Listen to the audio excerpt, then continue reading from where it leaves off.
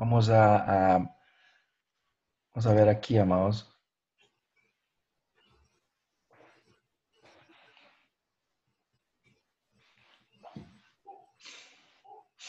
Eh, en la parashá de Barín, amados, sabemos qué significa Devarim, ¿verdad?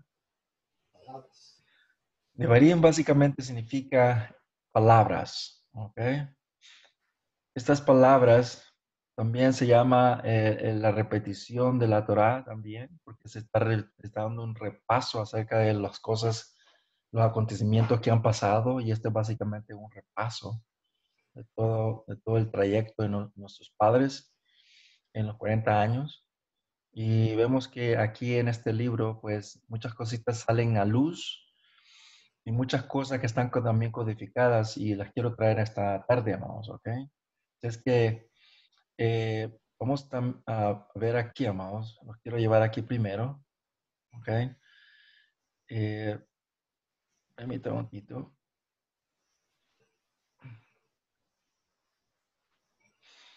¿Qué es lo que miran en este momento, amados? Una imagen de una- un dibujo ¿Y qué dice allí? para el chat de Barim. Muy bien. Entonces, sí lo pueden mirar. Ok. Eh, en esta parasha vamos, vamos a ver cómo Moshe empieza a dar, a dictar, vamos a decir eh, elocuentemente, cómo, eh, cómo él estaba hablando estas palabras, vamos, ok. Y acordémonos que eran 600 mil personas, vamos a decir como unos dos, casi 3 mil millones de, de- personas. Eh, esto Ah, vemos que ya casi la segunda generación, ¿ok? La primera ya estaba casi muriendo, ¿ok? Ya casi cumpliéndose los, los 40 años cuando está dando estas palabras. Ahora, cuando él habló estas palabras, amados, todas estas personas oyeron, o sea, todas estas personas, toda esta multitud oyeron cada palabra de lo que estaba hablando, ¿ok? Y eso es lo, eh, lo maravilloso de Kadosh Baruj que hizo que todos ellos escucharan estas palabras. Cada uno de ellos, amados, ¿ok? Quiere decir que, que el, eh, lo que Kadosh Baruj lo que Yahweh hizo era algo bien importante y, y increíble, amados. Vamos a ir primeramente en la parasha número 44, ¿ok? En esta parasha vamos a, eh, cubre del capítulo 1.1 de Barino, Deuteronomio, al capítulo 3, verso 22.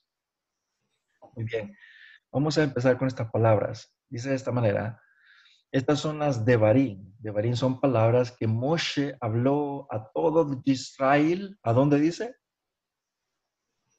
Al otro extremo del río Yarden. Ahora, quiero parar aquí, amados, ¿ok? Porque aquí vamos a ver un sinfín de, de locaciones, vamos a decir, un sinfín de eh, lugares, ¿ok? Y estos lugares no es solamente al azar, ¿ok? Acordémonos que aquí Moshe le está diciendo, en- en- es como, como un discurso que está dando, pero al mismo momento lo que Yahweh está hablando por medio de Moshe lo está diciendo de una manera de, ¿cómo se dice? De, eh, de regaño, vamos a decir, una manera que los hace recordar las cosas y los pecados que ellos hicieron. Estos, estos lugares que vamos a ver no son lugares que al azar, ¿ok? Hubo un evento allí y no era bonito, era, era, era negativo, ¿ok? Entonces dice de esta manera, estas son las de Barín, estas palabras que Moshe habló a todo Israel en el otro extremo del río Yarden. Ahora, le voy a hacer una pregunta antes de, de seguir adelante, amados. Cuando dice estas palabras, está hablando acerca de la Torá.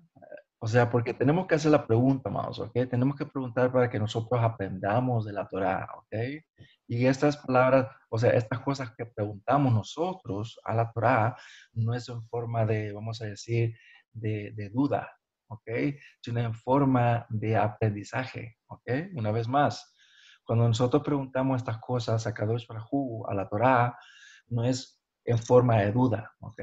Sino en forma de aprendizaje. Yo quiero aprender esto, quiero, por eso se aprende, por eso preguntamos, ¿por qué? La pregunta que estoy haciendo en esta manera, en este evento, es porque no fueron las palabras que se dieron en Sinai, amados. ¿A dónde se dio la Torah, vamos? A ver, En el Sinaí. Sinai, muy bien. Entonces, ¿por qué dice que al otro lado del extremo del río Jardín? Porque ahí era- estaba ubicado el Sinaí. Mm. Mm, sí, pero no exactamente, ¿ok? Ahora, estas No palabras, no fue donde cometieron el pecado del becerro de oro. sí, pero como se dice, aquí está hablando básicamente, am, Recordémonos esto, amados, que las palabras estas que está hablando Moshe en este momento, estas son las de Brin, estas son las palabras. Y lo que Moshe está hablando en este momento, ¿dónde las está hablando? Dice, el o- de la- del otro extremo del río Yarden, ¿ok? La pregunta que nosotros tenemos que preguntar es, ¿no se dio la Torah en el monte Sinai? La respuesta es sí, se dio en el monte Sinai. Ahora, una vez más, eh, si se dio en el monte Sinai, ¿por qué dice estas palabras en el otro extremo del río? Vamos a ver. Y, y la- básicamente la respuesta es, estas palabras que Moshe está repitiendo son una forma de, de ¿cómo se dice?, de, de regaño, una forma de que ellos se acuerdan lo que ellos hicieron anteriormente. Vamos a ver los, los lugares, amados. El primero es en el desierto. El desierto. ¿Ok? Ahora, ¿cuál fue el desierto? Es el número uno. Es en el tiempo que se quejan si solo hubiéramos muerto en el desierto. Está en Shemó capítulo 17, verso 3. ¿Ok? Esa es la primera. Porque en e- una vez más, capítulo 1.1 de, de Barín está dando lugares. ¿Ok? Esos lugares son eventos, no, nega- no positivos, sino negativos. Algo que ellos hicieron que Moshe tuvo que escribir una manera de recordarles. Es como que yo le diga a usted, amado o amada, eh, ¿no te acuerdas lo que tú hiciste en este lugar? O no, no te acuerdas, eh, no le tengo que decir, no te acuerdas lo que tú hiciste esto, sino le solamente le digo un lugar. Y usted literalmente dice, oh, wow, yo sé lo que hice en ese lugar. O sea, ¿me entiende? Sea negativo, sea posi- positivo, en esta ocasión es negativo. Porque él está le está recordando los lugares y ellos automáticamente están recordando, oh, wow, nosotros recordamos qué es lo que hicieron, qué es lo que hicimos allá. Y él está recordando que se quejaron eh, allá en el desierto. Vamos a ir al número dos, en el Arabá. En el Arabá es básicamente el pecado reciente con las mujeres moabitas. ¿Ok? ¿Se acuerdan en capítulo 25 de Bat Baro números? Ese fue el lugar, Arabá. ¿Ok? Muy bien. El número 3. Alabá, ¿qué significa alabá? Arabá básicamente significa, eh, es un, un- un plano, es como una pradera. ¿Ok? Es básicamente eso significa. Como, como una pradera que, que, eh, estaba allí. Por eso se llama Arabá. Como eh, tipo, eh, ¿cómo se dice? Ah, Llanura, ¿Cómo? una llanura, un valle. Sí, algo así. Muy bien. Valle. El número tres, del otro lado del SUF. Que lo que hicieron allí, se quejaron. Capítulo 16, verso 2. Ok. Número cuatro, en Param. ¿Qué es lo que hicieron en Param, amados? Todos sabemos. Y fue el pecado mayor que selló el futuro de nuestros padres en el desierto. El pecado de los diez espías despachados desde Param. Obad Bar número 13. ¿Qué es fue- ¿Cómo? Suf. Suf, suf. El Yom Suf es básicamente, Suf significa eh, el mar de juncos, ¿ok? Juncos, eso significa. Muy bien. Vamos ahí al número 5. Quiero bajarme aquí para que lo miren. El 5 es Ahí es claro. Fel y Labam.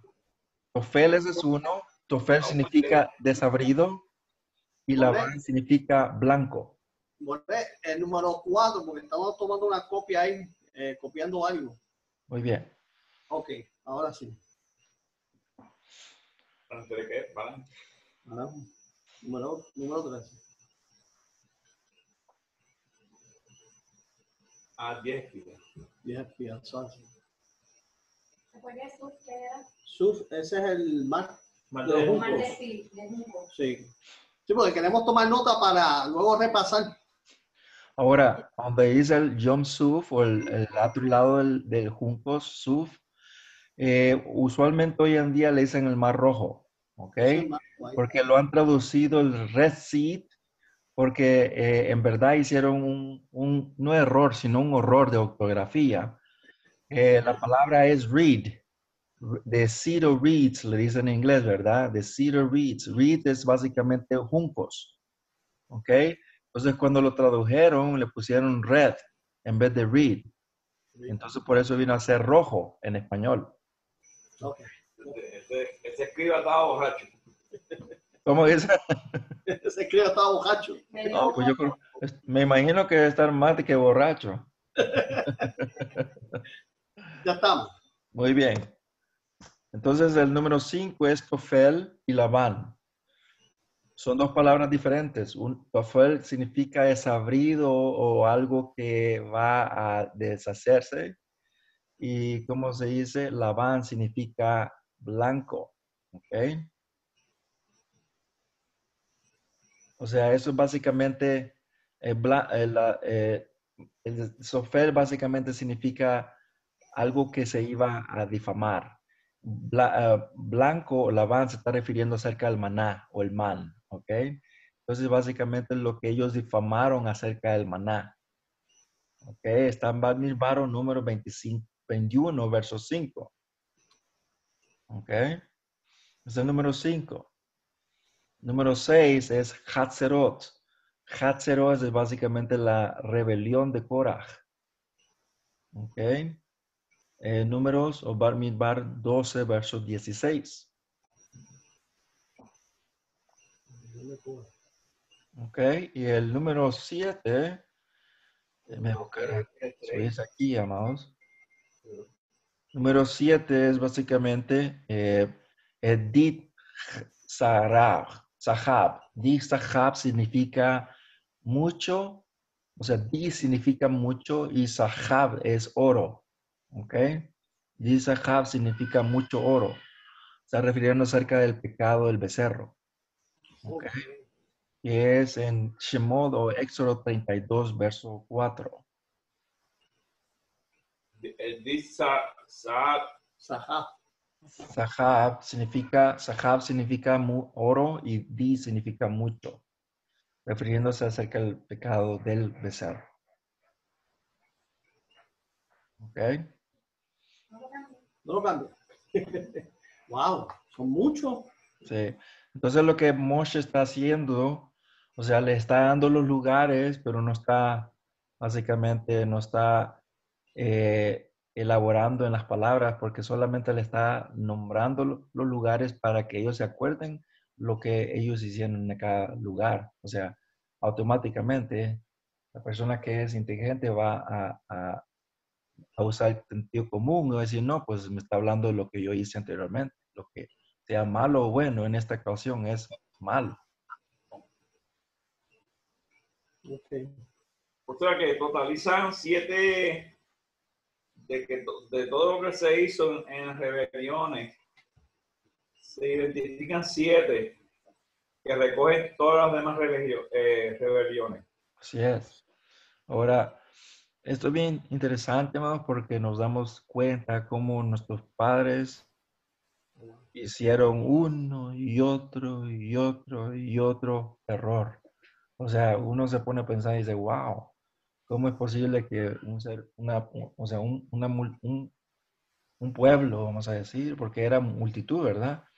Se, se hubiera caído en esta, en esta falta, sinceramente. E- Es ilógico. Viendo lo que ellos vieron, viendo lo que usted y yo no podemos ver, ellos lo, lo, lo, lo vieron con sus propios ojos, lo experimentaron. Y aún así pasó esto, hermanos. Que nos da a entender, hermanos, que no importa que se, eh, que se lo ponga en vivo y en color, esto no quiere decir que usted lo va a creer completamente. Vamos a ver lo que dice aquí, amados. Capítulo 1, verso 5 de Barim. Dice, allí del otro lado del Yarden, en la tierra de Moab, Moshe los tomó sobre sí mismo. ¿Y qué dice allí, amados? A exponer esta Torah y dijo, ¿ok? ¿Qué estamos trayendo ahí, amados? O sea, al otro lado del Yarden, en la tierra de Moab. Moshe los tomó y empieza a exponer la Torah. O sea, empieza, ¿cómo se dice? A, a- a explicarles, y, o mejor dicho, a recordarles también todas estas cosas. Una vez más, por eso se llama Devarim o Deuteronomio, que significa la repetición. Esta repetición es básicamente, acordémonos, amados, y quiero pararme un poquitito aquí. Acordémonos que Kadosh Rahu, acordémonos que Yahweh Sebaot es un ser supremo que repite las cosas. ¿Usted sabe por qué se repite las cosas, amados? Para que se la memorice la gente. ¿Qué más? Aparte de memo- memorizar. ¿Cómo, noso- ¿Cómo somos nosotros como seres humanos? Exactamente. ¿Y no se acuerda lo que dice allá en, en el Bedich Hadashah, eh, que dice que somos olvidadizos? Somos olvidadizos, amados. Se nos olvidan las cosas.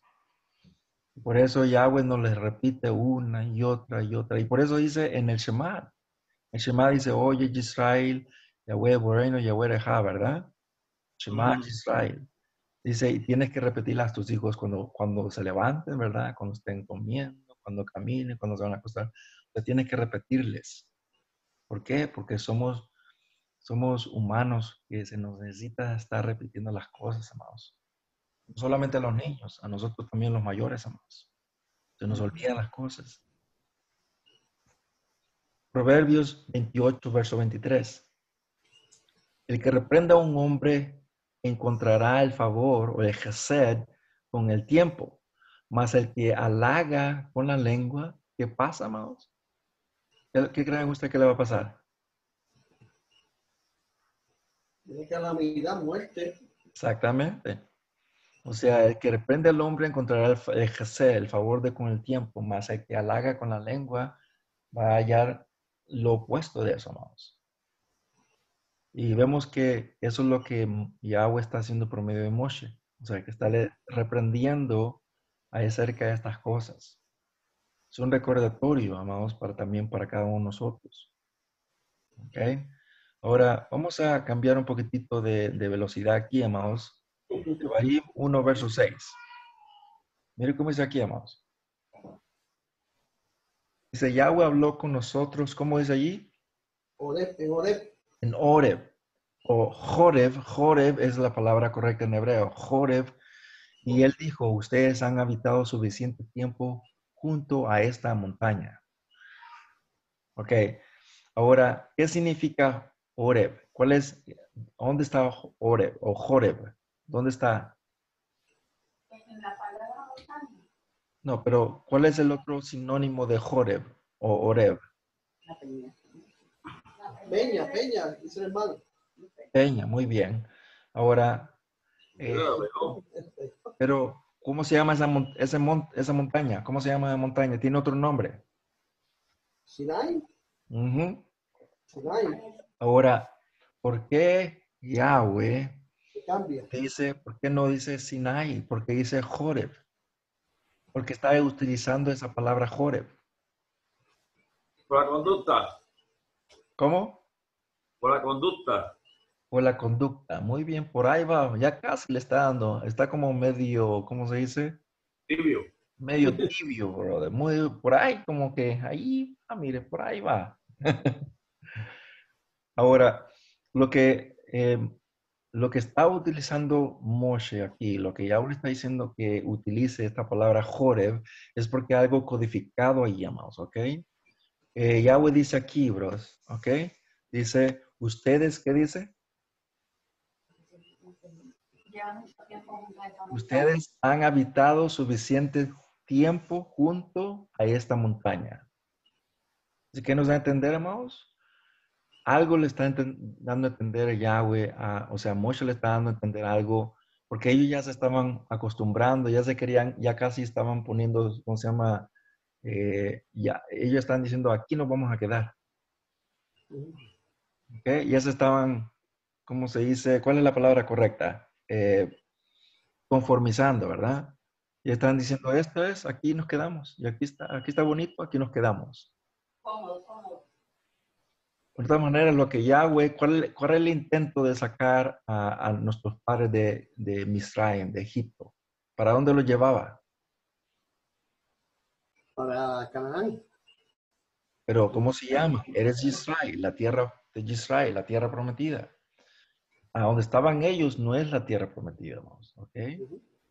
Entonces, eh, eh, eh, en sí, ¿cuál es esa montaña? En montaña, esa montaña, ¿dónde, en qué país está esa montaña hoy en día?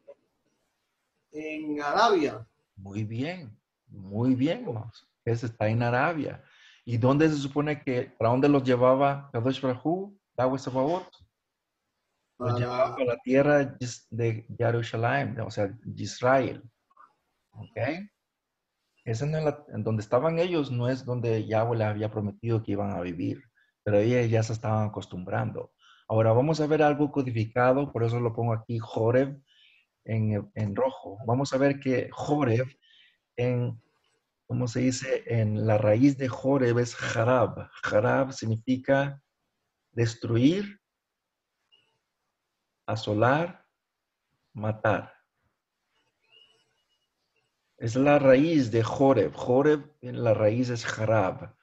Harab significa destruir, asolar o matar. También hay otra, hay otra raíz que es Jereb. Jereb es espada, cuchillo o sequía. ¿Qué le está tratando de decir Yahweh a por medio de Moshe a nuestros padres? Que si ellos seguían allí conformándose y quedándose allí, ¿qué es lo que iba a traer? ¿Qué, qué es lo que iba- se iban a acarrear ellos, amados? Destrucción. instrucción para ellos. Destrucción para ellos. Espada, muerte. Y por eso dice Yahweh, dice, ustedes han habitado suficiente tiempo junto a esta, Ahí tiene. sí, Copia. Bien. El simple hecho que estaban en Arabia, que Arabia, eh, los padres, los padres vienen de la raíz de, o sea, de la descendencia de Ismael. Sí, pero una vez más, Entonces amados, a Ismael, a Ismael le dijeron que vivirá del arco. Entonces si Israel se quedaba ahí, lo que, lo que, lo que este, no tan solo se iban a destruir, que los vecinos también se iban a, se iban a ir a golpe con ellos. así es, así es. Acordémonos que todo esto es relativo, amados, ¿ok? Y lo que cada vez nuestro amado tiene mucha razón, mucha razón, porque se iba a cumplir lo que Yahweh le había dicho a Ismael, que de su descendencia iba a vivir de la espada. Y eso es lo que estamos viendo, amados, ¿ok? Sí. Ahora, vamos a ver un poquito más adelante, amados, ¿ok? Eh, capítulo 1, verso 8 de, de Barim, Deuteronomio. Yo he puesto la tierra delante de ustedes. Mire cómo dice ahí, amados. Yo he puesto la tierra delante de ustedes. ¿Qué le está diciendo Yahweh? Que le está diciendo que la tierra que, que donde están ellos ahorita no es la tierra que él les está poniendo, en- o sea, que les había prometido a su descendencia. Y como dice aquí, amados, vayan y tomen, ¿qué dice? Posesión. La posesión a la tierra que Yahweh juró a dar a sus padres. Ujú. Mire cómo dice aquí. Abraham, Yitzhak, Jacob. ¿Y qué dice? Y a su después de ellos. Y a su, y a su cera después de ellos. Ahora, una vez más, vamos a, a ver algo bien importante aquí, ¿ok? Vamos a ver algo importante, ¿ok? ¿Tú- ¿Ustedes creen que es bien redondo, o sea, eh, no, no, no tiene sentido que les diga sus padres? Ya pues dice Yitzhak, Jacob, a Abraham, Yitzhak, Jacob y a su cera y a después de ellos. ¿Por qué está diciendo ellos? ¿Por qué no le dice a, a su descendencia es todo? ¿Por qué está diciendo Abraham, Yitzhak, Jacob y después dice a su cera y después de ellos? Hay algo codificado allá, digamos. ¿Ok? Porque primeramente tenemos que ver el primer, ver, el primer verso. El primer verso dice, he puesto, ¿qué dice? La tierra. La tierra delante de ustedes. Vayan y tomen la posesión de la tierra que Yahweh juró a sus padres. Vamos a parar allí. Acordémonos de esto, amados, que la Torah sobrepasa tiempos, ¿ok? No solamente esto, también lo que dice en Eclesiastés 1, verso 9, dice que lo que fue eso mismo será. Será. ¿Ok? Acordémonos esto, siempre es un formato a seguir. Lo que fue eso mismo será. ¿Qué nos estamos viendo aquí? El, la Geulá, la Geulá básicamente es el exilio, amados, ¿ok? De nuestros padres. Ha ha visto el exilio, ¿ok? Ah, ¿Cómo se dice? De, de el primer exilio que fue, amados, ¿ok? El primer exilio que fue, fue de Abraham, Yitzhak, Jacob, ¿ok? ¿Ok? De Abraham, Yitzhak, Jacob. Esto fue lo que primeramente están pasando en estos momentos nuestros padres de Misraim. ¿A dónde? ¿A dónde, amados? A ver, ayúdeme. ¿Cómo la pregunta, More? Ok. Acordémonos que de dónde están saliendo ellos en este momento. ¿De qué país están saliendo? ¿Para dónde van? De Egipto, de Egipto. De Egipto, muy bien. ¿Y para dónde van ahora en este momento? Para Israel. Exactamente, en la tierra de Israel. ¿Ok? Entonces vemos que aquí, aquí, amados, Abraham, Yitzhak, Jacob se está refiriendo al primer exilio. ¿Ok? El primer exilio para tomar la tierra. ¿Ok? Abraham, Yitzhak, Jacob se está refiriendo al primer exilio que fue para entrar a dónde? A la tierra de Israel. Ahora vamos a ir al segundo exilio, Isusera. Esto fue el exilio de las dos casas, de la casa de Judá y la casa de Israel. ¿Ok? Mm. ¿Ok? Dos exilios aquí. Ajá. Muy interesante. ¿Ok? El segundo exilio fue, ¿ok? Cuando Yahudá fue, ¿cómo se dice? Cuando Yahudá fue exiliado a Babilonia, acuérdense, ¿ok? Pero primero no fue Israel. Bueno, sí, ¿ok? Pero acuérdense esto, amados, que Israel fue exiliado pero no volvió, ¿ok? Yahudá fue exiliado y volvió. Sí. ¿ok? A- Así que vamos una cosa por otra, ¿ok? Ahora, aquí, vamos, ¿ok? Aquí lo que Yahudá viene a hacer, ¿ok? El primer exilio, porque fue a Babilonia y regresó, ¿verdad? Nuestros padres, la casa de Israel, el reinado del norte, fue exiliado pero no volvió, ¿ok?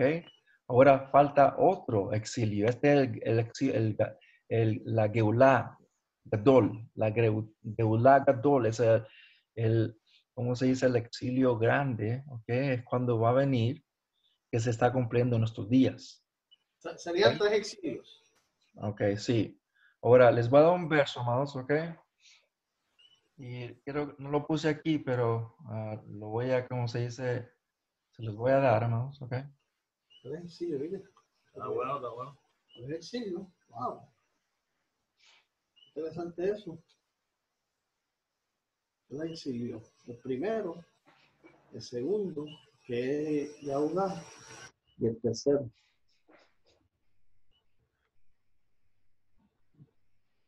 ¿Y de cuántos exilios se habla por ahí, de dos? Bueno, este, lo que pasa es que Israel fue exiliado, pero no regresó. Y ese que tiene Ok. que ser. Ok. Ok, muy bien. Les voy a dar este verso, amados. Ok. Y eh, una vez más, esto tiene que ver con eh, el Mashiach, por supuesto. pero también tiene que ver con nosotros. Acuérdense que cada vez que el Mashiach habla de él, también tiene que ver mucho con el pueblo de Israel y mucho más con nosotros, con Efraín, ¿ok? Y esto es la pura verdad, amados, ¿ok? Ahora, escriben este verso, amados, y ustedes se van a acordar del verso que les voy a dar. Está en el libro de Joshua o el libro de Oseas, capítulo 6, verso 2, y dice de esta manera, ¿ok? Dice de esta manera. Después de dos días, Él nos vivificará o nos vi- revivirá.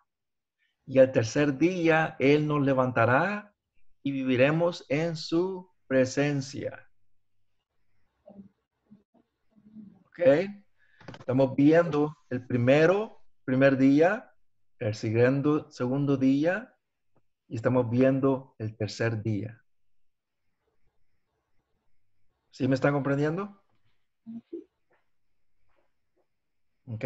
Quiere decir que el primer exilio, nuestros padres entraron a la tierra de Israel después del exilio. El segundo, vemos que Yahudá fue a Babilonia y volvió de nuevo a la tierra de Israel, mientras que el reinado del norte no, no había vuelto, pero vemos que lo que el Mashiach está diciendo, que los iba a traer de nuevo.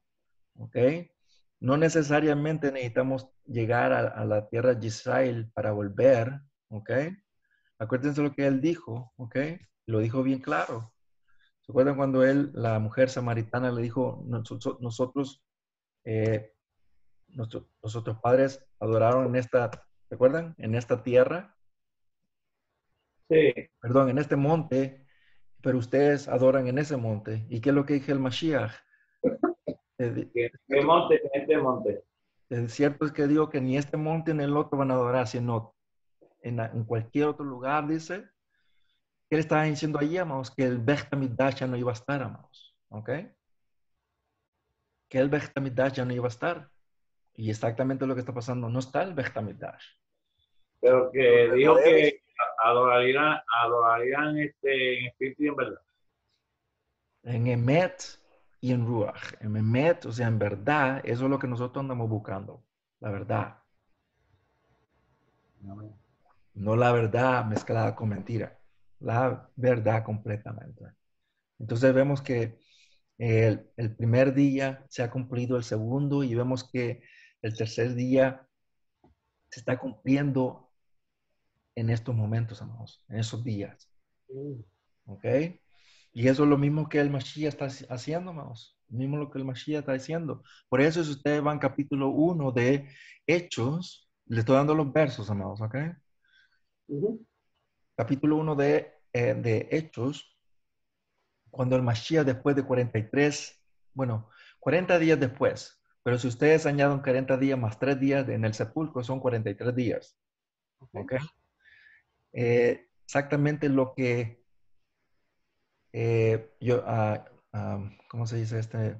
Eh,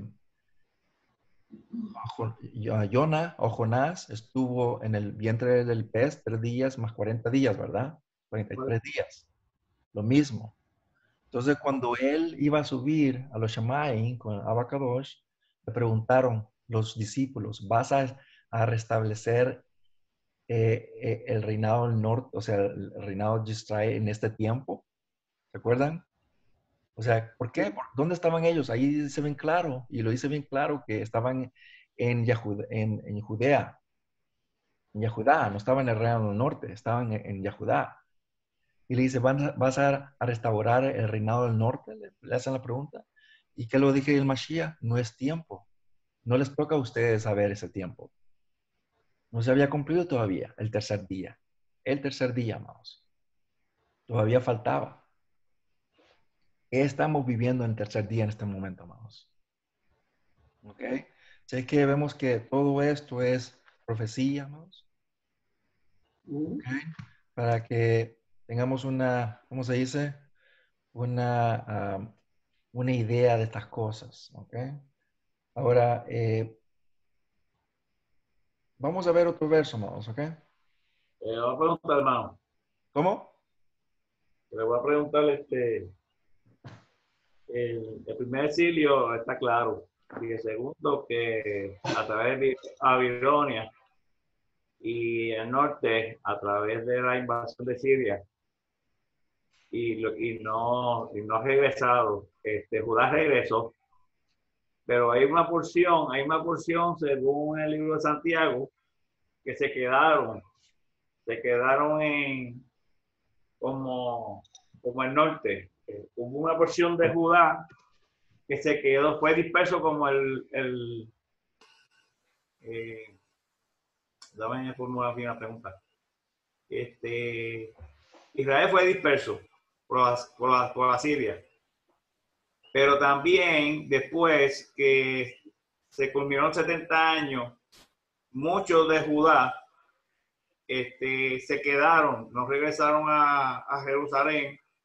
Y entonces cuando se predica, se predica el Evangelio, se encuentran con los judíos que se habían quedado en los tiempos de, después de Babilonia. Según el libro de, de Santiago, dice Jacobo que se dirige a 12 tribus de Israel dispersas en el mundo. ¿Me entiendes? Sí, Entonces, sí. quiere- decir que ese, ese tercer exilio, eh, eh, cuando vuelvan, no tan solo, no tan solo se refiere a- al norte, sino también parte del sur se había quedado, se había perdido su, identidad, igual que Israel lo hizo. Y cuando los libros de, los hechos dice que muchos de los judíos fueron convertidos entre los gentiles. Bueno, sí, pero acordémonos esto, amados, ¿ok? Que eh, si usted va a capítulo 2 o 3 de, de donde dice acerca de Pentecostés o Sh- Shavuot, capítulo de Hechos, ¿verdad? Ahí habla de Shavuot, ¿verdad? Lea ahí, y lo voy a traer, amados, para que no diga que no me lo estoy inventando, ¿ok? Eh, está en el libro de... eh, Lo que yo quiero preguntarle es que, que si en el, en el Oseas, Oseas capítulo 6, 2, cuando viene otra vez el regreso, ¿verdad? sí, Este, no tan solo, no tan solo eh, eh, estamos hablando del, del norte, sino que también porción de- del sur viene completando las 12 tribus, según una escritura. O sea, que parte de, la pregunta es que parte de Judá también están exiliados. No todo Sí. Judá está en donde tiene que estar. Bueno, pues ahorita se lo voy a contestar. Eh, capítulo, eh, permítame, bro, permítame. Ok, so, capítulo eh, 2.5, brother, ok. No cinco hechos. Está de Hechos, está hablando acerca de Shavuot, ok. Ujú. Mire cómo dice ahí, amados. Ahora bien, dice, en Jerusalén se estaban quedando Yahudim. Ahí no dice, lo dice bien claro, Yahudim, ¿ok? El reinado del norte, hombres devotos. ¿Y qué dice ahí, amados? De todas las naciones bajo los Shemaim. ¿Ok? No solamente este verso da a lo que usted está hablando, amados, ¿ok? O sea, no está solamente eh, este verso. Vamos a ver un poquito más abajo. Mire cómo dice aquí, amados. ¿Ok? Mire cómo dice aquí en el verso.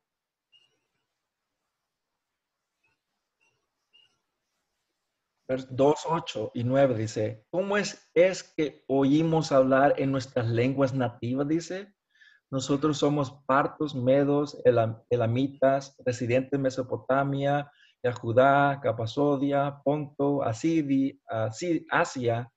Y empieza a decir, dice, Rifigilia, Panfilia, Misraim, partes de Libia, cerca de Serene, visitantes de, dice, eh, de, de Roma. Mire cómo es el verso 11, hermanos. Mire cómo es el verso 11, hermanos. ¿ok?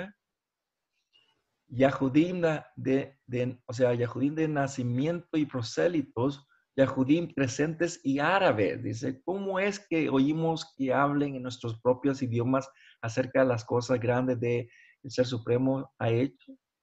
O sea, ¿por qué traigo este verso, hermanos? Ujú. Ok, ¿por qué traigo este verso? Eh, esa es la respuesta. Traigo este verso, hermanos, para que ustedes se den cuenta y la palabra donde dice lengua en griego es dialecte. ¿Ok? donde dice, ah, oímos hablar de, nuestra lengua, o sea, en la lengua de ellos con nuestra lengua, dice, la palabra es dialectes. Mírenlo en, griego. Dialectes es básicamente, ya sabemos qué significa dialecte, dialecto. ¿Ok? Por ejemplo, usted sabe que el, el arameo es el dialecto, es uno de los dialectos del hebreo. ¿Ustedes sabían esto, no? Sí. Porque deriva del, del hebreo. Es, por ejemplo, mi esposa, ella es filipina, china, pero habla, es más filipina que china, pero ella habla, como se dice, en la Filipina hay como 80, 90 dialectos del tagalo. El tagalo es nacional. Hay chabacano, hay visayan, hay pampangano, hay muchos dialectos, hermanos, ¿ok? Eh, y todos derivan del dialecto, o sea, de, de la lengua nacional que es el tagalo el hebreo también tenía mucho, mucho, ¿cómo se dice? Mucho dialecto. ¿Ok? Todos lo que ustedes acaban de leer, amados, todos eran Yahudim, pero se habían esparcido en esos lugares. ¿Ok?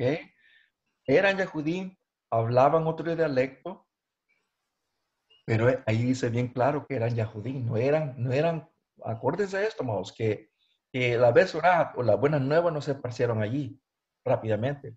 Primeramente fue a quienes, ¿se acuerdan? No, Primeramente no, fue a Judá. A Judá. A Judá. El Mashiach lo dijo bien claro. Dice, "Empie- primero ve a Jerusalén, a Judá, ya después a los demás. Ah, ok. ¿Ok? Eso sí, recuerdo, sí. Parece que el capítulo 10 de Hechos, o, ch- o el libro de Hechos, capítulo 10, allí donde empieza en Samaria. ¿Ok? La- donde se empieza a esparcir a Samaria. Y fue después de la muerte de Esteban. ¿Ok? Ahí donde empieza, como se dice, eh, a, a- ¿cómo se dice? Para, para los, para Israel. O sea, para todo- todo- todas las naciones donde estaba Israel esparcido. Pero primeramente empieza con ya Judá primero. O sea, More, que cuando dice Misraim, que es Egipto, quiere decir que allí también habían judíos. También. Ahí dice todos los lugares donde estaban. Donde estaban. Ahí, ahí dice todos los lugares donde estaban ellos metidos. ¿Ok? Entonces no, es algo nuevo, amados. No es algo nuevo. Eh, esto de que Yahudá solamente permaneció en Yahudá, no. Había muchos que habían vivido en otros lugares, amados. ¿Ok? Ahora, que ellos subían a Jerusalén a celebrar las fiestas es otra cosa. ¿Ok?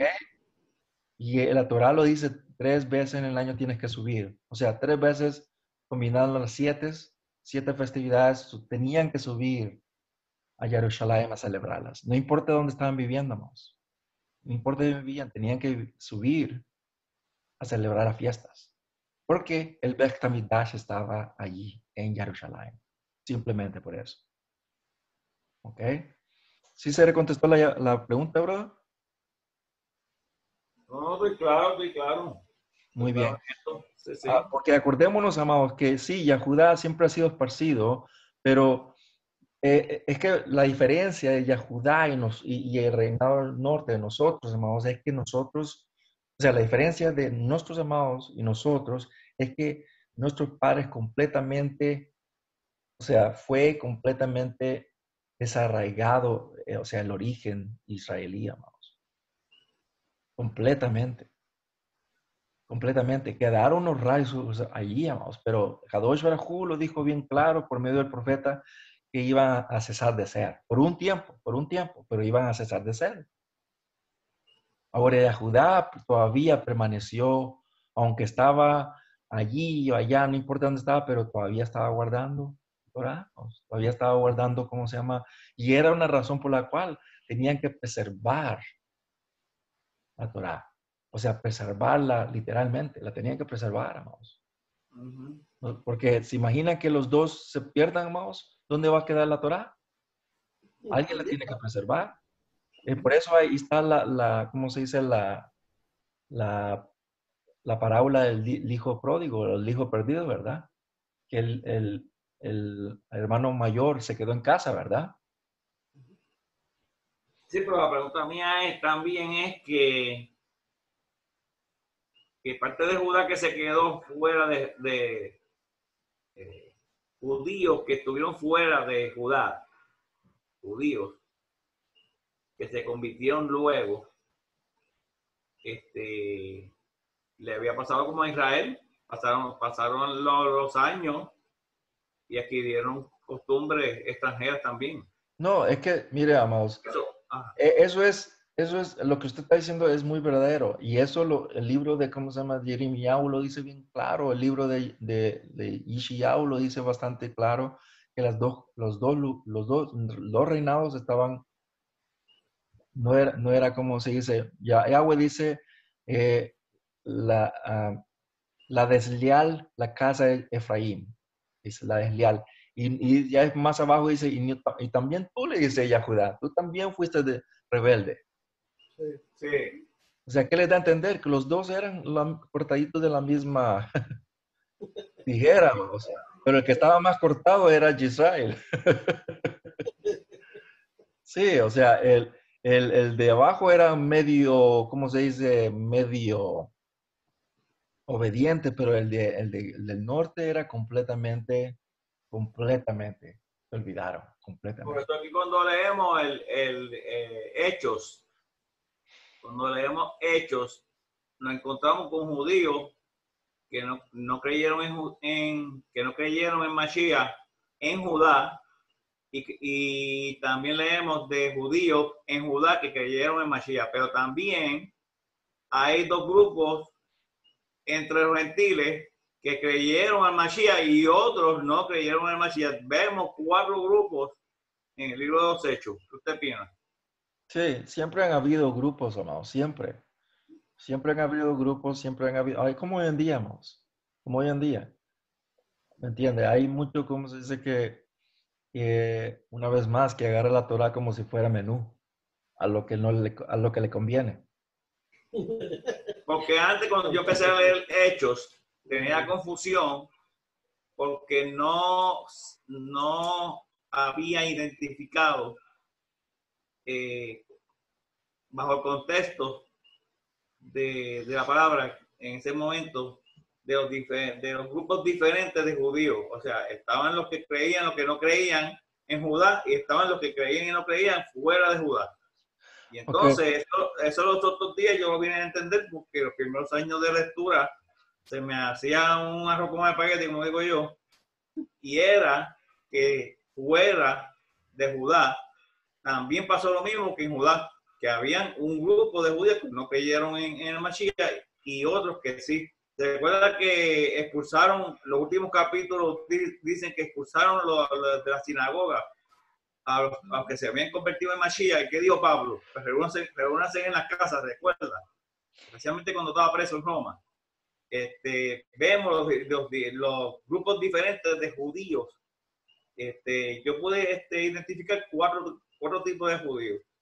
Pues yo creo que hay más, brother, hay más, porque... Más, mire, hay más, pero que prevalecía eran cuatro. Sí, pero eh, una vez más, brother, le vuelvo a decir el verso que, capítulo 1, verso 9 de Eclesiastés, lo que fue, eso mismo será. Estamos viendo lo mismo, hermanos. Estamos viendo el mismo formato eh, en diferente tiempo. Hay mucho yahudí que es completamente secular. No le importa ni, ni guarda Torah, no guarda ni Shabbat.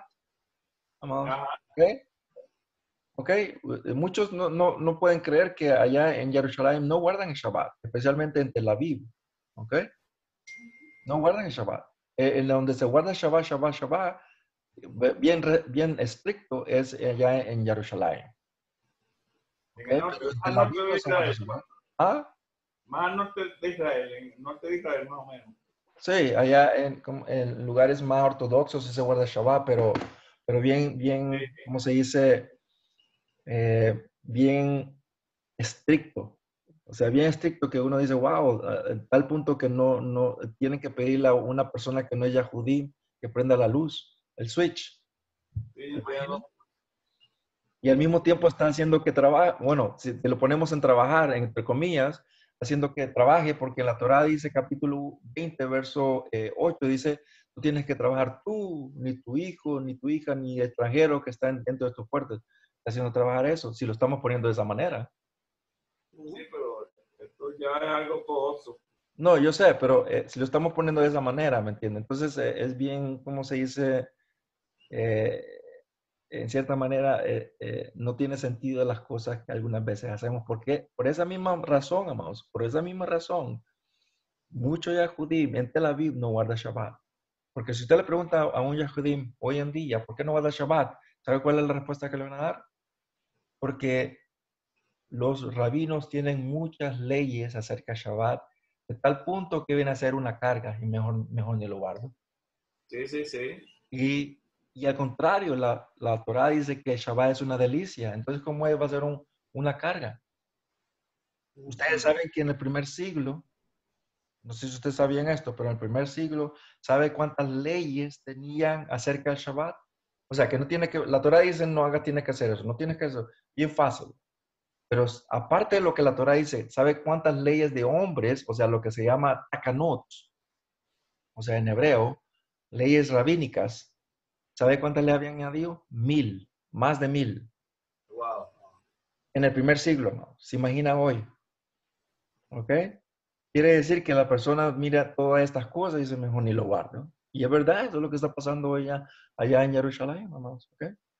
Entonces, una vez más, estamos viendo los mismos, eh, diferentes tiempos, pero el mismo formato, cómo la persona percibe la Torah, cómo la persona mira el ambiente alrededor, lo mismo, amados. ¿Ok? Muy bien. Quiero llevarlos a otro, eh, a otro tema antes de ir cerrando, amados. Eh,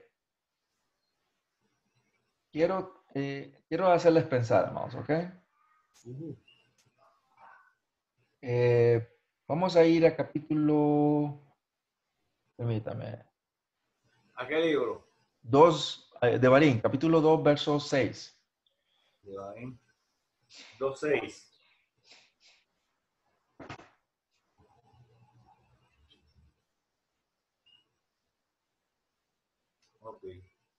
A ver, ¿me lo puede leer, amado? Dos, seis. Deuteronomio 2, 6. Ah, páguenles dinero por la comida que coman y páguenles dinero por el agua que beban. No hay, no hay. Dos seis. 12 del Deuteronomio. Dos seis. Sí, sí, sí, sí. Sí, ¿no?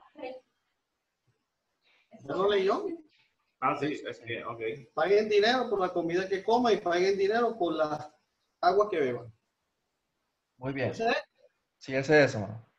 Entonces, ah, lo que le quiero traer, amados, Este, este, Sí, me dice que no, que no vete, yo me perdí entonces.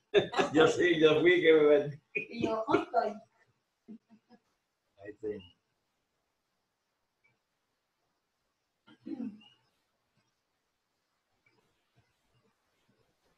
ok, vamos a ver capítulo, eh, capítulo 2, ahora pongan un dedito allí, amados, ahí mismo, capítulo 2, verso 29, ok. Sí, pero el 2.6, ¿qué, ¿qué es lo que implica el 2.6? Ahorita vamos, pónganle un, do- un dedito, ahorita vamos a ir, hermanos. Ok. Y al 229. Ahora vamos a ir primeramente, antes de llegar allí, los voy a llevar capítulo, eh, capítulo 2, verso 26, vamos a empezar, ok. Ok, lo, ah, lo voy a traer aquí a la pantalla para que lo miren, ok. Ok. 2.26. 226. Ok, Aquí está, amados, aquí está.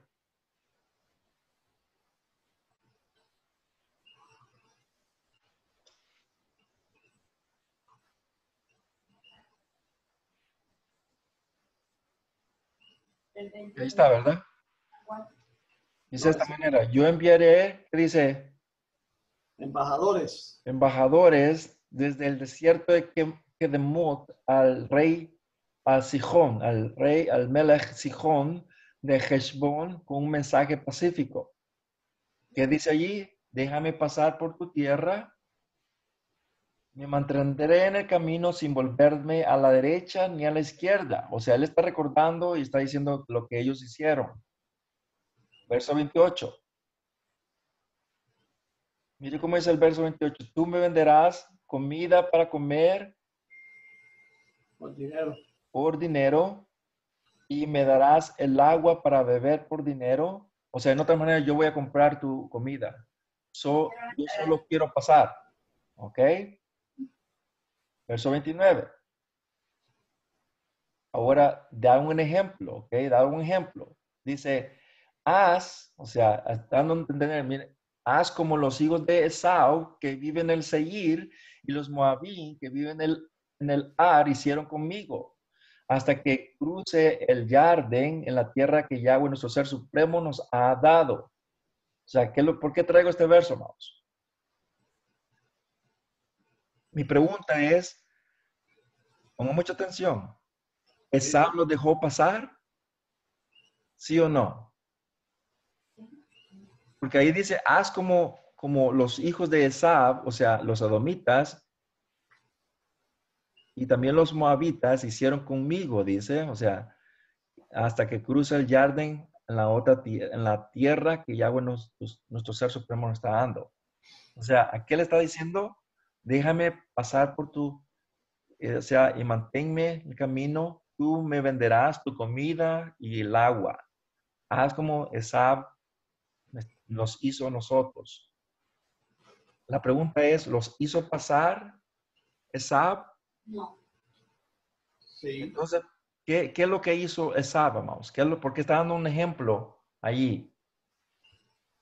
Pues le vendió comida y le vendió este, el agua que necesitaban para pasar.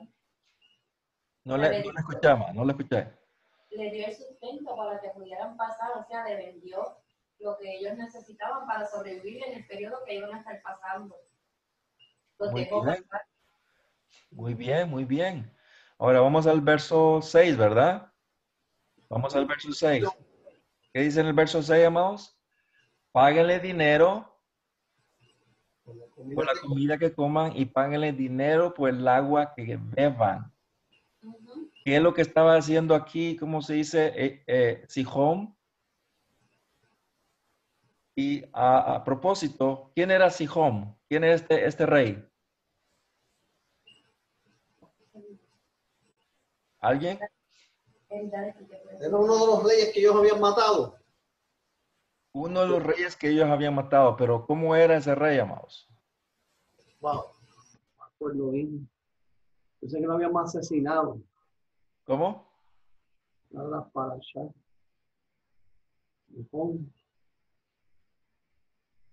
Japón. A ver, ¿qué, cómo, ¿cómo era ese rey, amados? ¿Quién era ese rey exactamente?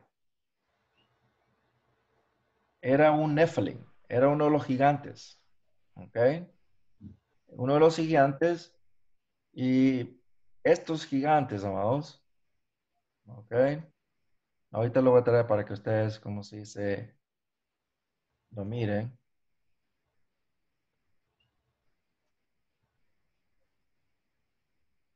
año 26. 26. Difícil. Era un Neferim. ¿Sí lo miran, amados?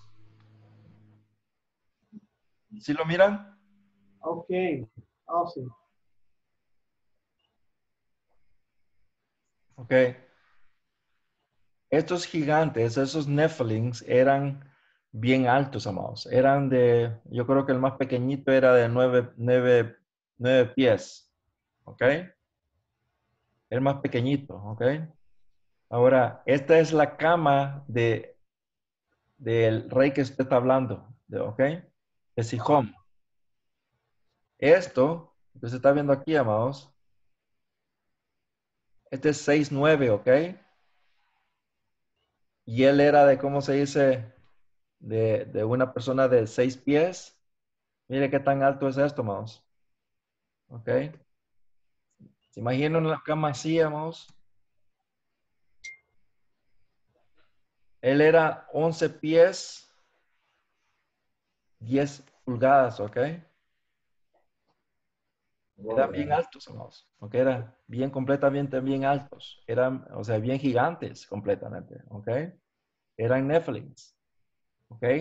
Pero ¿qué es lo que está diciendo eh, eh, Moshe? ¿Qué le está diciendo? Que les pidieron, le, está- le están pidiendo, le mandaron en baj- y le, le están diciendo, de- eh, o sea, haz como, como los, los de, o sea, no tenemos que pasar, pero véndenos comida. Véndenos comida y agua. Y ni siquiera les vendieron comida ni agua, amados. ¿Ok? Ni si, no los dejaron pasar, no les vendieron comida ni agua. Y es completamente, eso fue algo que, como se dice, que eso no fue tan bonito, amados, ¿ok? Ahora, aquí, amados,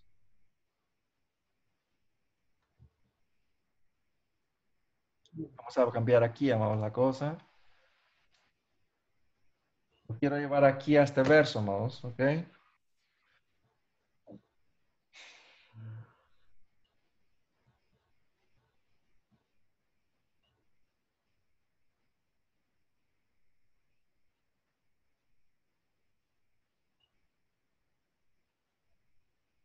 Capítulo 23, amados, de, de, de Barim o del cronomio.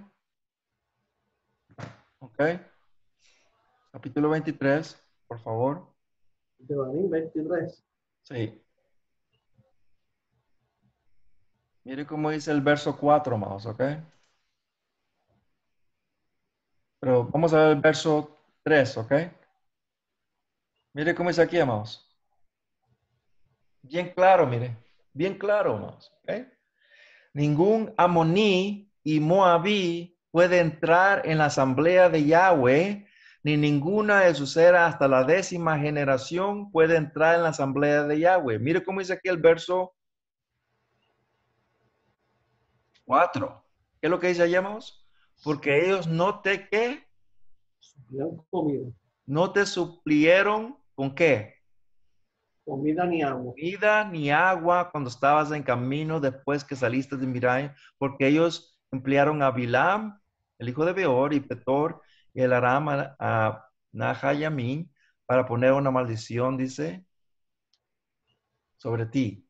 Pero ¿qué es lo que dice aquí al principio, amados? ¿Por qué? Porque no te suplieron agua ni comida. ¿Se imaginan, amados? Por lo menos, por lo menos el hermano gemelo que era Esau, ¿verdad? O sea, los edomitas, por lo menos, como se dice, suplieron con agua, por lo menos, y, y comida, amados. Por lo menos, amados, ¿ok? Pero ellos ni siquiera suplieron ni agua ni comida, amados. Por eso fueron extinguidos. ¿Cómo? Por eso fueron extinguidos. Por eso, amados, ¿se imagina, amados? Por una, eh, eh, o sea, por lo, más pequeñito no pudieron hacer eso, amados. Eh, capítulo 6, aquí mismo, amados. Mire cómo es aquí. Perdón, verso, verso 6, ¿ok? Dice, así que no buscarás la paz o el bienestar de ellos por todo el tiempo, dice, que vivas pero no detestarás a un edomita porque él es tú, ¿qué dice? Hermano, Tu, herm- tu aj, dice, ¿verdad? Ahora, ¿quién es el edomita, amados? Rápido, ¿quién es el edomita? Esaú. Esau, porque ahí lo dice bien claro, es tu hermano, y de veras, es el hermano de él, ¿ok? Lo dice bien claro, Eh, ¿se acuerdan que eran gemelos? ¿Ok? O quiere decir que el cristianismo es básicamente eso, amados. Sabes el cristianismo. En el primer siglo, de Judá estaba con los romanos, ¿verdad? No se habían dado cuenta que lo- ellos dos eran hermanos, amados. ¿Se imaginan? Muy bien, vamos a quedarnos aquí, amados, ¿ok? Eh, eh, es para Lo que mismo- nosotros... Lo mismo le pasó a a. A Malek le pasó lo mismo. Sí, sí, a Malek le pasó lo mismo, amados. Y lo interesante, amados, es que nosotros miramos estas cosas. Eh, lo que yo saco de, este, de esta parasha, amados, es que nosotros tenemos que, que tener una visión, vi- o sea, tener una visión en lo que, para dónde vamos. Tenemos que tener una visión. Y hay más, más en esto, más en esta parasha. Eh, tenemos que tener una visión, tenemos que no conformarnos, o sea, en lo que, en lo que estamos, sino que siempre mirando para, para arriba, vamos, para es- haciendo, como se dice, beta, beja lo teja, o sea, subiendo, escalando una vez más. ¿ok? Porque esa es, esa es la, la, la meta, vamos, de tener, de escalar siempre, todos los días, todo el tiempo para arriba, no para atrás. Así que muchas cosas codificadas en la Torah, vamos. Y créanme que eh, cuando uno mira estas cositas codificadas, uno dice, wow, ahí he estado siempre, pero son cositas que uno las pasa eh, por alto, pero toda el creador, pues eh, poco a poco, vamos, poco a poco, estamos viendo cómo Kadosh Rahu nos da eh, en, en, en, cada parashat todos los años diferente lente, como podemos ver la Torah. Eso es lo bonito. Sé que esta parashat de Barín, créanme que hay mucho, pero como se dice, eh, poco a poco vamos a ir analizando estas cosas, amado. No sé si hay otra pregunta, pensamiento, duda, no sé, algo así. El último versículo que usted presentó habló de Esau, pero también habló de Misraim. O sea que también era promesa para los egipcios, para Misraim, como tal. Sí. Eh, no, no, no hay, sí, porque ahí, ahí lo dice que tú fuiste extranjero, dice. Ahí dice, porque tú fuiste extranjero en esa tierra y te dieron, o sea, dónde estar. Eh, acuérdese que esto tiene que ver mucho con extranjero. Por ejemplo, le voy a dar un ejemplo más. Cuando alguien viene a la sinagoga, yo siempre les digo a nuestros amados que, que las personas nuevas que llegan, uno las tiene que tratar como si yo me estuviera tratando por primera vez cuando llego a un lugar. Y le voy a, te lo voy a explicar por qué. ¿Cómo? O mejor dicho, ¿en qué manera? Cuando una persona nueva viene, yo no le puedo decir, mire, mire caballero, usted tiene que poner la pipa, tiene que usar esto, o sea, ¿dónde está? O sea, empiezo a decir muchas cosas que la persona va a decir, no, hombre, esto es tan loco, ya me voy aquí. Se, se va a ir la persona. Y créanme que hay muchas personas, muchos amados que han usado esto. Yo le digo, amados, no tiene que hacer esa manera. Yo siempre lo he dicho en los mensajes, en las, en, no todas las veces, pero lo he dicho, que nosotros tenemos que utilizar la Torah como guía, como ejemplo. Yahweh dice que tienes que tratar al extranjero bien, dice, porque tú fuiste, dice, extranjeros en un tiempo. Lo mismo, nosotros tenemos que eh, tratar a estas personas, o sea, bien, porque una vez también nosotros fuimos nuevos en un lugar. Empezamos, no sabíamos nada, vamos poco a poco, poco a poco. Y eso es siempre así. Yahweh siempre utiliza eso. Entonces, por eso dice, pero fíjense, amados, que eh, en sí, amados, eso tiene que ver mucho con lo que el Mashiach hablaba acerca del prójimo. ¿Ok? Con lo que hablaba acerca del prójimo. ¿Se acuerda qué es lo que dijo acerca del prójimo nuestro Mashiach? ¿Cuál fue el ejemplo grande que eh, utilizó para hablar acerca del prójimo? ¿Alguien? ¿Una parábola? El, al que asaltaron. Sí, sí. El, ¿Cómo se llama este? El, el que Buen samaritano. El buen samaritano. Sí. Ahora, si ustedes se acuerdan, al último, al último, al último, ¿qué es, cuál fue la pregunta allí que él hizo? Porque nosotros no podemos hacer la misma pregunta. ¿Quién es? Estos, ¿Quién es? O sea, ¿quién vi? ¿Quién es tu prójimo? Le preguntó. Ajá. O sea, le preguntaron, ¿quién es tu prójimo? O sea, y nosotros tenemos que hacer la misma pregunta. ¿Quién es mi prójimo? ¿Cuál es la respuesta, amados? A ver, ¿cuál es la respuesta? Analicen ese, e, e, eso, amados. ¿Quién es nuestro prójimo? El que tuvo misericordia. ¿Cómo? El que tuvo, usó de misericordia. Exactamente. Exactamente. O sea, More, quiere decir que no necesariamente tenemos que, una persona tiene que ser israelita para ser salvo y pertenecer al, al pueblo de Israel. Pues la persona, tenemos que usar, siempre tenemos que utilizar la, rey, la regla de oro, la Torah. La, la Torah dice bien claro que aquel, todo, todo aquel que, tiene, que quiere ser parte de Israel tiene que ser como, va a ser como el natural. ¿okay? Okay. Entonces, para que sea natural, tiene que llevar, como se dice, las reglas. Ahora, ¿cuáles son las reglas? La Torah. Ahora, vamos a utilizar la, el Gesed, la, la, ¿cómo se dice? La Rajamín, la, la piedad. Yahweh usa eso. Shaul usó lo mismo. ¿Se acuerdan cuando él, él se estaba fijando que mucho, mucho, mucho eh, Yahudim, así como él, ¿verdad? Él, él, ah, estaba utilizando ah, mucho Yahudim que había creído, creído en el Mashiach, pero era bien, bien ortodoxo. Y decía, no, no, tú tienes que guardar toda la Torah. O sea, tú eres de, de las naciones, pero quieres, quieres venir a ser parte, o sea, tienes que guardar toda la Torah. Shaul se dio cuenta y le dijo, no, no, no, no. Le- ¿Se acuerdan que donde le dice solamente para que empiecen, para que empiecen, para que empiecen a agarrar, a moler un poquito, poco a poco, que se abstengan de idolatría, ¿se acuerdan? Ah, sí, sí. La, De ahogado y de fornicación. Ahí le dice bien claro, vamos. Y ya lo demás va ahí, ahí lo dice bien claro. Lea, solamente hay parece dos o tres versos que dicen lo mismo, vamos. Y habla como dice, a cómo la persona tiene que empezar poco a poco. O sea, ¿qué le quiero decir acerca de esto, vamos? Que, la que todo es gradual. Y por eso está en el Mijayim, el Mijayim, las reglas de la, la sinagoga, de la comunidad. Ahí dice que todo es gradual, poco a poco, poco a poco. Las cosas van poco a poco la persona va ah, entendiendo, entonces, ok, ya, yo creo que ya sí puedo ya hacer esto.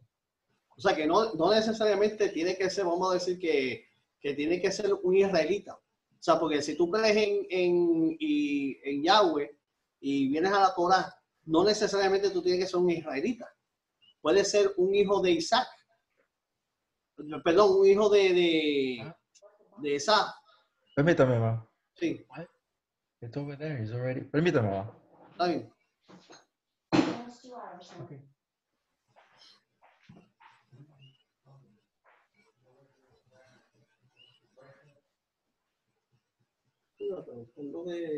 que tiene tiempo que escuchamos. Sí, acuérdense, amados, que eh, el Mashiach decía estas palabras bien claras, amados. ¿Cómo sabemos, cómo vamos a saber nosotros si somos parte del pueblo de Israel? El Mashiach lo decía bien claro, capítulo 10 de Yohanan, dice, mis ovejas oyen mi voz, dice, y obedecen. Ahí, no- o sea, ahí nos vamos a dar cuenta si somos o no somos. ¿Ok? Eh, en la Torah lo dice bien claro que todo aquel que quiere ser parte del pueblo de Israel, dice, tiene que ser como natural, tiene que guardar la Torah. Ahora, si, es- si va a guardar Torah, pues va a ser gradual, por supuesto. No se le puede dar todo de un solo. Como niño, ah, tiene que darle lechita poco a poco. Todo es gradual, amados. Pero eventualmente va a llegar la persona, o sea, en su madurez, por supuesto. Pero entonces se tendría que, que considerarse como un israelita. Sí, por supuesto, va a ser israelita. Va a ser como un natural, así dice la Torah. Ahí se dice la Torah. Acordémonos, amados, que todo aquel que es del pueblo de Israel, y por eso, por eso Pablo utilizaba la palabra goyim, la- o sea, se ha traducido como, como gentil, pero la palabra es goyim. Goyim es básicamente las naciones. ¿Ok? Esa misma palabra se utiliza allí en el capítulo 19 de Shemot o Éxodo, donde dice que vosotros sois una nación kadosh, así dice, ¿verdad? La palabra es goy, goy, goy kadosh, goy hakadosh. Es una nación, o sea, eh, eh, kadosh, apartada. O sea, está dando diciendo entender que la- el Am Yisrael, el pueblo de Israel, es, también se le utiliza como, como título, como goy, como nación. ¿Ok? Y eso está en la Torah, amados. ¿Ok? Entonces, ¿qué nos da a entender, amados? Que lo mismo habla Shaul. Yo voy a las naciones, voy a, a- allí está Israel, ahí está, está esparcido, amados. Es lo que estamos hablando, la, la esparción. Y está- Ajá. Lo, lo, pues- lo- para, será para la próxima clase, ¿no? Que podamos discutir esto. ¿Dónde queda el pueblo de Ismael? Porque Ismael es una, eh, eh, también tiene una promesa, porque es hijo de Abraham, aunque de la esclava. O sea, ¿dónde queda? Porque entonces eh, la, la- lo que se enseña es que para tú ser salvo y escogido tienes que ser israelita. no, nadie, pero, nadie más puede entrar Sí, ahí en esa cuestión sí. de, de- ah, es todo el tiempo Israel, israelita, israelita, pero el concepto israelita, por eso fue cuando Jacob le ponen el nombre, Yahweh le cambia el nombre a Israel, es por el aspecto espiritual, porque Jacob es el aspecto material, pero el espiritual es Israel. Así es. Así Sí, es. entonces, entonces, ¿dónde queda aquí la promesa a Ismael? Bueno, es bien fácil, hermano. Eh, y acuérdese que allí mismo, en el verso que leímos nosotros, donde dice que acer- acerca de los a, a- a- moabitas, dice que él va a ser, eh, que ellos no van a ser parte de la asamblea de, Is- de Israel, ¿se acuerda? La asamblea de Yahweh, así dice, ¿verdad? Lo mismo, aquel que quiere guardar Torah puede venir a ser parte de la asamblea de Yahweh si guarda los mismos y viene a ser como un israelita. Ok, y viene a ser como un israelita, pero no israelita. necesariamente es israelita de nacimiento. Ajá. Pero Sí, en el caso de en el caso de Ismael sí lo es, porque son hermanos.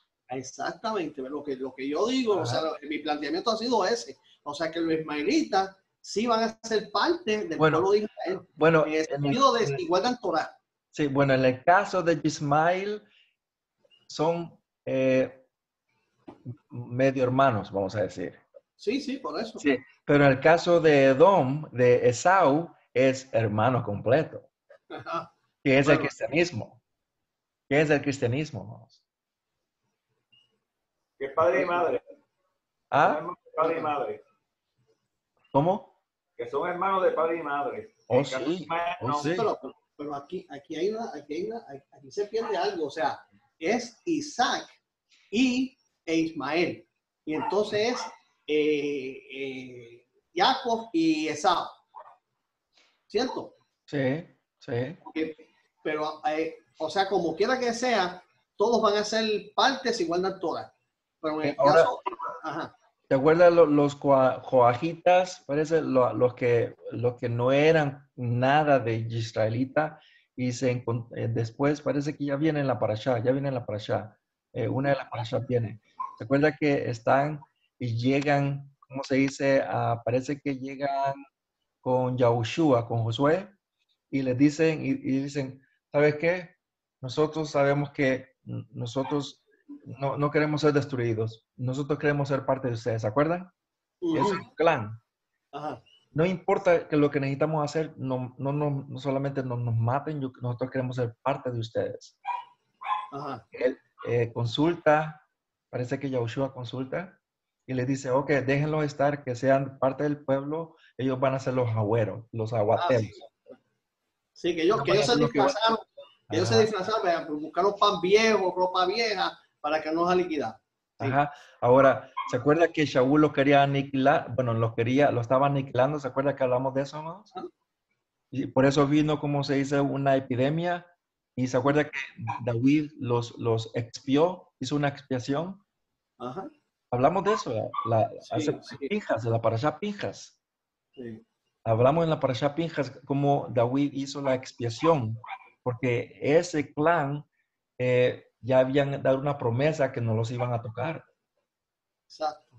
Que eran parte del pueblo. Pero Shaul le dijo, no, esos no son parte de nosotros. O sea, córtenlos. Ok. Ellos ya habían dado, o sea, ya Yahweh ya había aceptado, los había aceptado como parte del pueblo. O sea que considerando un, un israelita. Para, para ir terminando, considerando a un israelita, es aquel que guarda Torah. ¿Sí? Es Eso, es- es- a eso se refiere. No importa si eres cristiano, no importa si eres de, de, de, de Sao, no importa si eres ismaelita. Siempre y cuando tú te ajustes a la Torah, eres israelita. Por el aspecto espiritual, no por el aspecto terrenal. Ahora, capítulo, ¿cómo se dice? Parece que es 2 de, de Efesios. Oh, ahí les ven claro que en aquel tiempo no estaba sin el Ser Supremo y sin el Mashiach. Ahora en este tiempo ha sido, no ten- ni siquiera era ciudadano, dice. Exacto. Ahora dice, ha sido cercano y está cerca de Kadosh Baruj y ha sido traído por el Mashiach, dice, y ahora sois ciudadanos de Jerusalén, dice. Ahí lo es bien claro. Por aceptar. Ajá, ahí lo dice No bien claro. por- no- Y, ahí lo dice por el pacto, dice, por los pactos, dice. O sea, lo- la, la Torah. Ahí lo dice bien claro. Por la Torah. Ok. Ahora, hablando volviendo a los pactos, acuérdense de esto, es bien importante que Yahweh hizo el pacto con nuestros padres, no con las naciones, ¿ok? Es bien importante, el Berit, el Berit Hadashah, el pacto renovado que Yahweh estaba haciendo una vez más, es el mismo pacto que hizo con nuestros padres. Por eso Jeremías o Jeremías 31, 31 dice, en aquel tiempo yo haré, dice, un, un pacto renovado con la casa de Israel, la casa de Yahudá. Ese mismo verso es lo que Shaul está utilizando en, Hebreos capítulo 8 y Hebreos capítulo 10. Es la referencia que está dando. Pero ¿con quién está haciendo los, el pacto renovado? Con las dos casas. ¿Ok? Entonces es bien importante, vamos. Eh, eh, una vez más, eh, esto tiene que ver mucho, como le vuelvo a decir, que eh, el Renal Norte ha sido esparcido por muchos, muchos años, amados, en todas las naciones. Entonces, no podemos decir que no lo es o que lo es, un chance que, es lo es, que lo es. Pero ¿cómo nos damos cuenta? Cuando la persona escucha, cuando la persona escucha la voz del Mashiach para obediencia. Entonces se da cuenta que sí lo es. Ok. ¿Ok? Muy bien, amados. Vamos a terminar. Toda del Creador, amados, que nos da el tiempo para que podamos meditar en estas cosas, amados. Son necesarias eh, y es, eh, son necesarias para que nosotros las hablemos. Es necesario para que nosotros las, las meditemos. Nosotros, cada uno, nosotros individualmente, de estas cosas que miremos. Porque esto nos, eh, nos ayuda a enfocar, nos ayuda a meditar, nos ayuda a, a asentar nuestra emuná, nuestra fidelidad, amados, en el Mashiach. Amén. Así es que sigámosle, amados, porque no importa que vengan, ¿ok? Las cosas, nosotros tenemos que seguirle, amados, ¿ok? Ya bueno va a dar la, la, la eficacia y la emuná, la firmeza para seguir, no importa dónde, amados. Pero vamos a seguirle, ¿ok? Sé que primeramente el Creador, ¿ok? Vamos a estar en, en tefilamos, en, en oración para ustedes, para sus familias, Gracias. para el país completamente. Eh, que Kadosh Baruj pues abra, eh, algunas veces estas cosas ocurren para que la gente despierte, se dé cuenta que los, los tiempos que estamos viviendo no están Bien. tan bonitos que digamos. Y esto va para todos nosotros, amados. ¿ok? Así es que... eh,